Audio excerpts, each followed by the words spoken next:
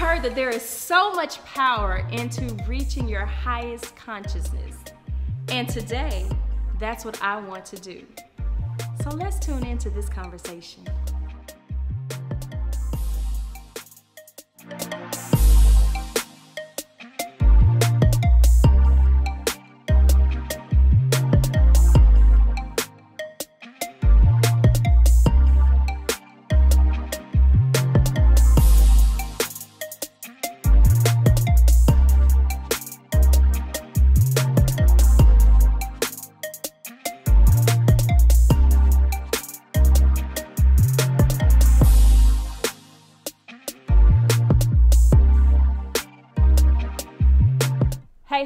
It's Chaun Vaughn, and you are watching My 40 Plus Life. And today we are going to tap into all things being our best self, the power of our highest consciousness. And I am so here for this episode because I have the perfect person on to share this information with you. Everyone, I want you to welcome to my 40 plus life, Mr. KG Smooth. Thank you for coming on. Thank you for having me on. yes. I met KG a little while ago and I just absolutely fell in love with him. And I had the opportunity to join him on The Quiet Storm on Majic 102.1 Yeah. a, a- a few weeks ago. And having you here today on my show is just kind of like full, Full circle. circle, So yeah. It was a lot of fun. It yeah, was. yeah, just, you know, yeah, we had a ball. That- so why don't you tell everyone a little bit about who KG Smooth is? Uh, well, I'm KG Smooth, as Chaun said, host of The Quiet Storm on Majic 102.1. I am a 21 year radio veteran. I also host a community show called the Public Affairs Podcast that broadcasts on all three of Radio 1 Houston brands.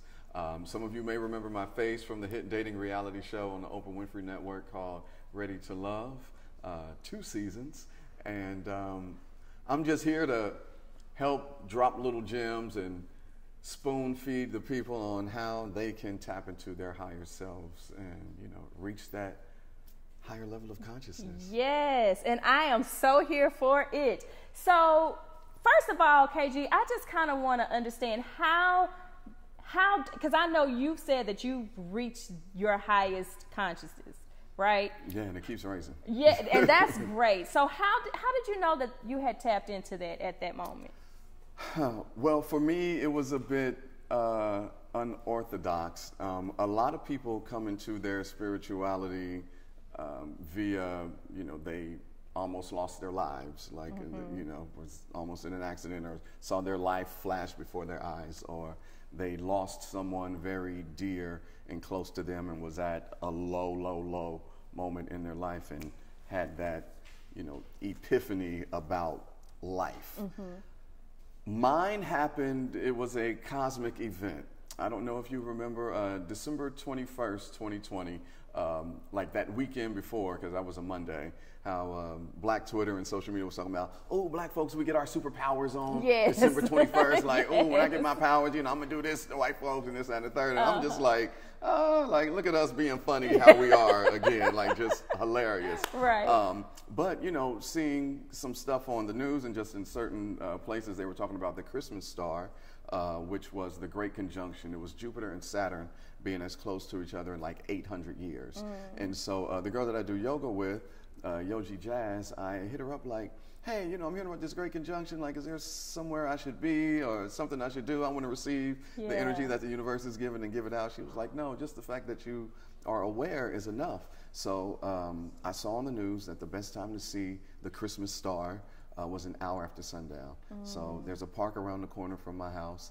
I go to the park uh, to ground, uh, take off my shoes and socks, and I'm grounding. And Chaun, it is this spectacular starlight show in the sky. It was a clear night in Houston, and you know I see Jupiter and Saturn to my to my right. I see the moon and Venus close to my left, and in between the moon and Venus and Saturn was just all of these stars. I'd never seen so many stars in the sky in mm-hmm. my life. and so as I'm looking, there was one that was moving. It was a traveling star. And I was like, yo, like, is that a plane? I'm like, no, like that is a star that and I'm just like, wow. And I never had seen that. And then my body starts doing this tingling thing and, and the intensity was in my head and then it was in my heart and then it was in my gut And so I put my shoes on, I leave. I'm like, what is going on here? so I sit in the car and I'm thinking to myself, like, that was weird. Like my body tingling, and then, you know, everything starts to tingle again. And then I feel like I had just traveled somewhere. Like I'm breathing hard and I'm looking around, like, oh my gosh, like what, what was that? And, but I felt so happy. And from that moment on, things started to happen that mm. were just magical and divine. So, why would someone like me want to get to that same point? What are some of the benefits of tapping into that higher power? We have been programmed to look outside of ourselves for all of the answers when really all of the answers lie within. Mm. If you just sit still and listen to that inner voice, which is God, which is you, um, you're going to get the answers. But mm. we've been programmed to look everywhere else, to look to this deity, to call up our friends to get their opinion on something that is going to affect our lives. It's not going to affect them at all. Yeah. And so, you know, we've been programmed to look outside of everything but ourselves. And so once you sit still and listen, it will come to you. Okay, so KG, do you do you think that it's possible that someone could be actually operating in their highest consciousness and don't know they don't know that they are or is it something that you will absolutely oh, you know? You will absolutely know. When God chooses you, uh, when the universe chooses you or whatever you subscribe to, you are going to know. And once that veil is lifted and you have on these new pair of glasses, you can't take them off. Mm-hmm. And so you will absolutely know. And you're going to know because a lot of things are going to come to you. Um, you are going to realize that certain people and things no longer serve you. Mm-hmm. You're going to let that go. Um, you're going to do a lot of crying. I did a lot of crying in my uh, initial stages of coming into this. Like, no, Chaun, I'm talking like soul cries, like fountains of tears. I'm talking snot, kind of crying. You're going to uh-huh. do a lot of crying, and um, and God is just going to reveal a lot to you, and you're going to you're going to feel that power. You're going to feel that. You're going to feel it, and mm-hmm. you're going to know. Okay. All right, because I just want to make sure that I've been on the right path. Because I feel like I'm make I'm progressing to being that best person, fully leaning in what God is has provided for me. But I don't feel like I'm quite there yet because I haven't had that experience quite yet. Well, everyone's is different, and mine how I came into mind, it was definitely, you know, I later on learned that, you know, the way it happened to you, like you're an anomaly. Like if you was going around, you know, sharing this information, people gonna look at you sideways, mm-hmm. think you're crazy and right. all that. and me not knowing, of course, I'm spreading the word and talking about it all. And of course, people was calling me crazy. Like, what didn't happen to KG? He done lost his mind, this, that, and the third. But now, since we're, you know, fast forward to, you know, almost two years into it, those same people are coming back to me saying, like, you know what?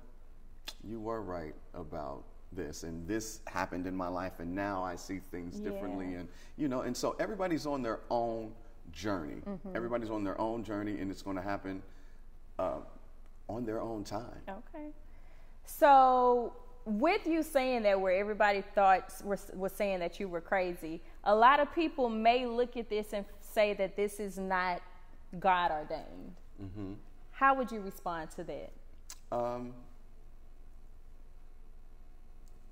That's a good question. It's not God ordained. Well, um, if that's the way you feel, then I can't discount or um, argue that point um, because I'm not here to indoctrinate mm. anyone.